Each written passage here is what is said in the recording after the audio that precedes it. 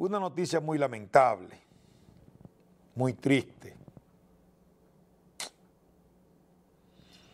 Tres de las cuatro menores abusadas por el pastor de Higüey han dado positivo al VIH, al SIDA, amigas y amigos.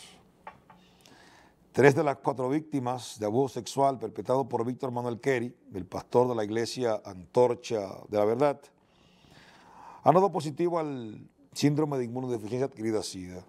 La noticia que ha sacudido a la comunidad revela la profunda magnitud de los abusos cometidos por el acusado, quien en su papel de líder espiritual explotaba a los miembros más vulnerables de su congregación. Las víctimas naturalmente están en anonimato porque son menores de edad. Es una pena, es una lástima la situación desafortunada y triste de estas menores. Es una pena. Este ser de las cavernas, coprófago, pedófilo, pedrasta, abusador, no solo le valió con abusar sexualmente de ellas, sino que también las contagió con un virus mortal como es el SIDA.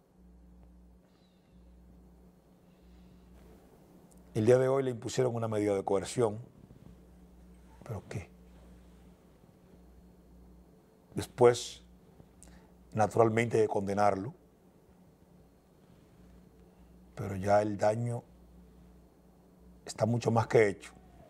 No solamente porque abusó sexualmente, sino ahora porque también le desgració la vida por el resto de lo que les queda a esos infantes.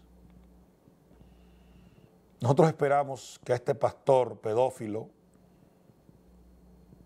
rata, le caiga todo el peso de la ley